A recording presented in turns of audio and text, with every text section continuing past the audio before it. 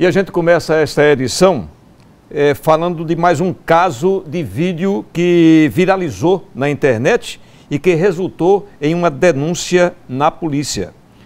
Uma mulher foi flagrada praticando maus tratos contra o próprio pai, que é idoso e também cadeirante. As imagens divulgadas são fortes, vocês vão ver agora pois mostram a violenta agressão em um momento que deveria ser de tranquilidade e de muito amor. Abra a boca, levanta a cabeça para comer. Imagens que causam revolta. Essa demora toda aqui, essa demora toda. Paga essa demora toda. O vídeo ganhou repercussão nas redes sociais e mostra uma das muitas agressões que uma filha teria praticado contra o próprio pai. São agressões verbais e físicas. Depois que o caso tornou-se público, a suspeita teria fugido e abandonado o genitor. Com exclusividade, o repórter Marcos Couto conseguiu conversar com uma outra filha da vítima, que se mostrou surpresa e também revoltada com as atitudes da irmã. Eu não sabia do fato que estava ocorrendo, eu fiquei sabendo através da rede social. Sim. Entendeu? Eu vim ter conhecimento desse fato ontem à tarde. Entendeu? Que eu não moro aqui, eu moro no Orlando Dantas. Aí cheguei aqui e só vi o fato que ocorreu. Aí meu advogado me orientou e pediu para ir na DAGV para procurar as providências, entendeu? Para poder fazer alguma coisa por ele. Queira que não queira, meu pai, eu tenho que fazer alguma coisa por ele. Tá no momento assim de estado crítico, tá? Eu sei que é um momento também dele vulnerável, que ele não merece passar por isso, mas eu tenho que resolver também que eu sou filha dele. Laiane disse que o pai se chama José Teles de Melo e que ele tem 71 anos. A irmã agressora seria a Luane Caroline. A suspeita tem passagem pela polícia e já chegou a usar tornozeleira eletrônica.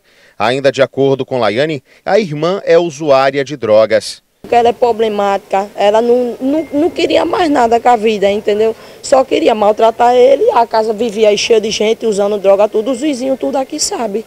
Se chegar batendo em qualquer porta aqui dessa, dessa rua aqui das casas, os vizinhos vão confirmar a mesma coisa. A casa aí era vivia cheia de gente, usando droga, um sai e entra a madrugada toda, ela não respeitava ele, que usava droga na frente dele. Quando estava drogada, era a hora que maltratava ele, era quando ela estava drogada.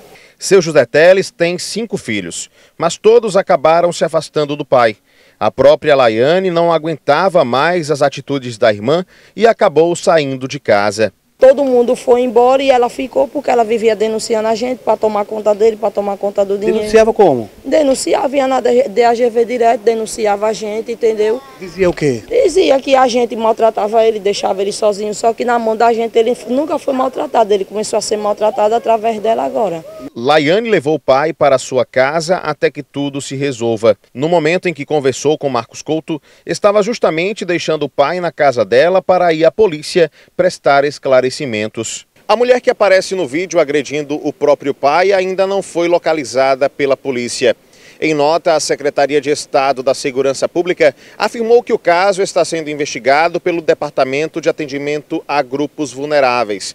Todas as providências, portanto, estão sendo tomadas. Uma equipe foi ao local já para constatar o que é que se passa e fazer a entrevista com os familiares, se possível, com o próprio idoso e vamos instaurar um inquérito policial para apurar as responsabilidades. O Conselho Estadual dos Direitos da Pessoa Idosa também acompanha o caso. Nós, como Conselho de Direito, repudiamos firmemente qualquer tipo de atitude que seja de desprezo, maltrato, indiferença, seja o que for, em relação a uma pessoa que envelhece. Essas pessoas são tesouros na vida das pessoas, dos, dos seus filhos e na vida dos seus familiares. Elas podem acionar o disque denúncia né, através do 181 e também pode vir à delegacia para fazer a denúncia é, é, pessoalmente. Além disso, é, é o Disque 100 também é um canal de denúncia, né, é um canal é, é, nacional. Nós estamos abertos de qualquer maneira para poder atender essas pessoas que queiram denunciar. A maior prova que a denúncia é muito importante é que um vídeo como esse, se não houvesse uma denúncia, como houve, dificilmente nós saberíamos. Através de uma denúncia é que nós podemos ir até essas pessoas, investigar o caso e responsabilizar aquelas que estão agindo de maneira indevida.